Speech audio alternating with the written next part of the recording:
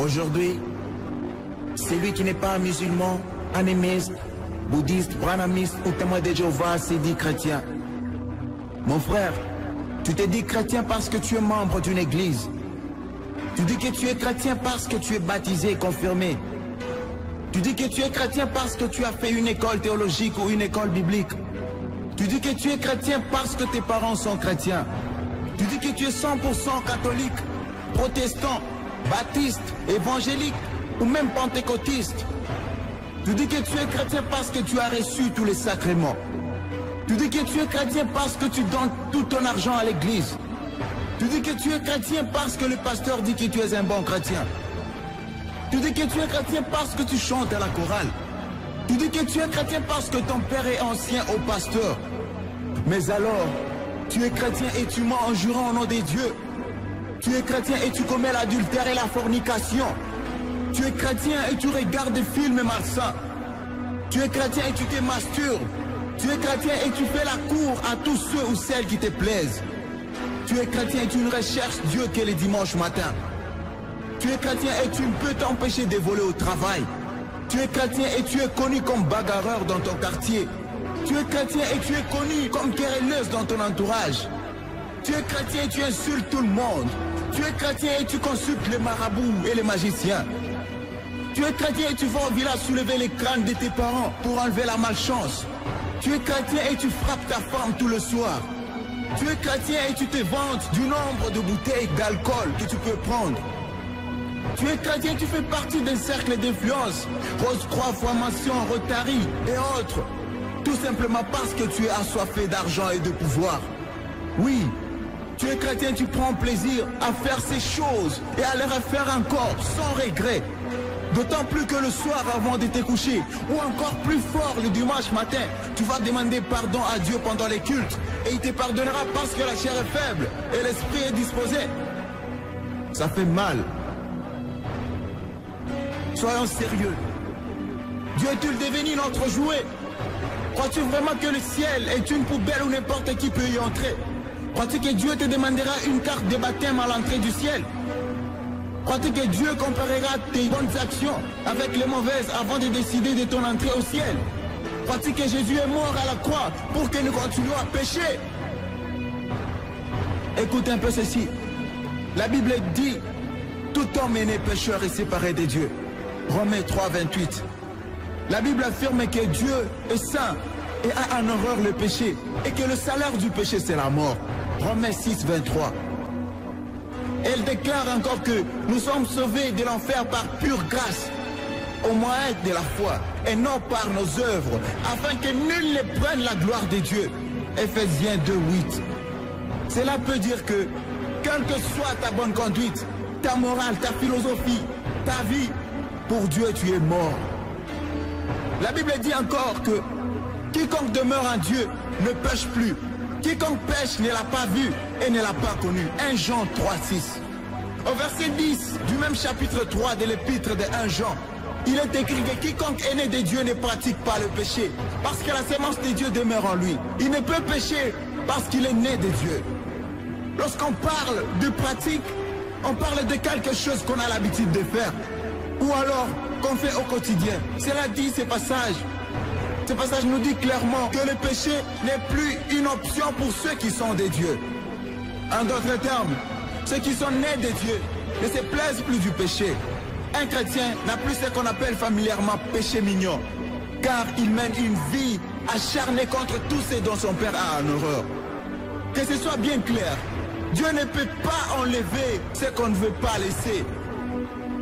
La seule chose qu'il nous demande, c'est faire notre part, c'est-à-dire prendre les dispositions pour ne plus tomber dans les mêmes situations, tout en comptant sur lui et sur le Saint-Esprit, ôter complètement ces péchés qui étaient pour nous une obsession. Ne te laisse pas convaincre par le diable qui veut te faire croire que tu ne peux pas vivre sans commettre tel ou tel péché. C'est faux. Dieu serait-il devenu un menteur? Crois-tu qu'il puisse nous demander de faire quelque chose qu'il soit impossible? Lui qui est Dieu et qui nous aime. Beaucoup de gens ont vécu dans ces mensonges, mais lorsqu'ils ont pris la décision de changer de camp et d'abandonner, ils ont fini par comprendre que ce n'était pas une mission impossible, car Dieu avait fait sa part. Tant que tu trouveras des justifications pour tes péchés, tu seras toujours la même personne, tu ne changeras jamais. Y a-t-il un espoir? Oui, gloire soit rendue au Père, qui a donné son Fils unique, afin que quiconque croit en lui ne périsse point, mais qu'il ait la vie éternelle. Jean 3, 16. Jésus-Christ est la lumière, mais à tous ceux qui l'ont reçu et à ceux qui croient en son nom, elle a donné le pouvoir de devenir enfants de Dieu. Jean 1, 12. Encore un autre mot, devenir. On peut donc comprendre qu'on n'est pas enfant de Dieu, mais qu'on le devient lorsque premièrement on reçoit Jésus-Christ et ensuite on croit en lui et en son sacrifice. Cela dit avant ça, tu n'es qu'une simple créature de Dieu. À la différence que tu es fait à son image. Un chrétien est par définition celui qui vit comme Jésus-Christ. C'est lui qui a Jésus-Christ pour modèle. Jésus lui-même a dit à ses disciples qu'un bon arbre ne peut produire de mauvais fruits et un mauvais arbre de bons fruits. C'est par leurs fruits que vous les reconnaîtrez. La religion ne te sauvera pas. Jésus-Christ est le seul qui te sauvera. Si tu veux devenir un vrai enfant de Dieu et un véritable chrétien, voici trois démarches à suivre. Une, confesse tous tes péchés à Dieu en lui disant que tu regrettes de les avoir commis. Deux, demande à Jésus-Christ de venir habiter dans ton cœur et dis-lui que tu acceptes de faire de lui ton sauveur, ton Seigneur, selon qu'il dit lui-même dans Apocalypse 3, 20. Voici, je me tiens à la porte et je frappe. Si quelqu'un entend ma voix et ouvre la porte, j'entrerai chez lui, je souperai avec lui et lui avec moi. 3. Réponds-toi de tes mauvaises voies en changeant de conduite. Tout ceci se fera dans une prière que tu feras avec foi et sincérité, car sache qu'il te sera fait selon ta foi. Aussi Dieu ne regarde pas la longueur de ta prière, ni la beauté de tes phrases, ni encore l'enjancement de tes mots, mais à l'attitude de ton cœur lorsque tu lui demandes d'y entrer et de faire de toi son enfant. Sache que Jésus-Christ est fidèle et il entrera comme il a promis. En entrant, il te baptise du Saint-Esprit, car lui seul a ses pouvoirs. Jean-Baptiste pouvait encore dire, moi je vous baptise d'eau, mais celui qui vient est plus puissant que moi. C'est lui qui vous baptisera du Saint-Esprit et de feu. La Bible dit encore que si tu confesses de ta bouche le Seigneur Jésus-Christ et si tu crois dans ton cœur que Dieu l'a ressuscité des morts, tu seras sauvé. Romains 10, 9 à 10. La Bible nous enseigne que la mort de Jésus sur la croix a effacé toute la condamnation. Il s'est fait malédiction pour que tu hérites le royaume des cieux. Si quelqu'un en Christ est une nouvelle créature, les choses anciennes sont passées. Voici toutes choses sont devenues nouvelles. 2 Corinthiens 5, 17.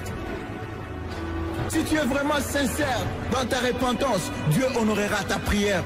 Souviens-toi que tu es une personne différente et que les autres doivent voir la vie de Jésus en toi et glorifier Dieu.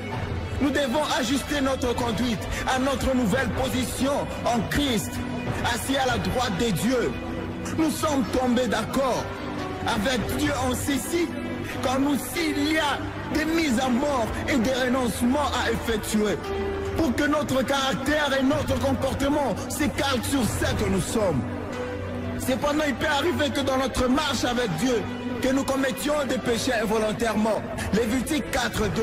Ce n'est pas le moment de se décourager ou de culpabiliser parce que la raison pour laquelle Jésus-Christ est mort et nous aider à prendre un élan nouveau, un souffle nouveau dans notre communion avec lui. Maintenant, agis en conséquence. Parle à Dieu chaque jour par la prière. Jean 15, 7. Lis la Bible chaque jour. Acte 17, 11. Obéis à Dieu moment après moment. Jean 14, 21. Témoigne de Jésus par ta vie et par tes paroles. Matthieu 4, 19. Jean 15, 8. Fais confiance à Dieu pour chaque détail de ta vie. 1 Pierre 5, 7. Laisse le Saint-Esprit diriger ta vie, ton témoignage et les rendre puissants. Galates 5, 16, 17. Maintenant tu es libre. Tu peux fouler la grâce qui t'a été offerte par Jésus-Christ. Il a 2017 ans sur la croix du calvaire, mais sache qu'on ne moque pas de Dieu. Ce que nous aurons sémé, nous les moissonnerons aussi. Voici, je viens bientôt, dit Jésus dans Apocalypse 22, 7. Heureux celui qui garde les paroles de la prophétie de ses livres. Que celui qui est injuste soit encore injuste. Que celui qui est souillé s'essuie encore. Et que celui qui est saint se sanctifie davantage. Voici, je viens bientôt. Et ma rétribution est avec moi. Pour rendre à chacun selon ce que son œuvre. Je suis l'alpha et l'oméga, le premier et le dernier, le commencement et la fin.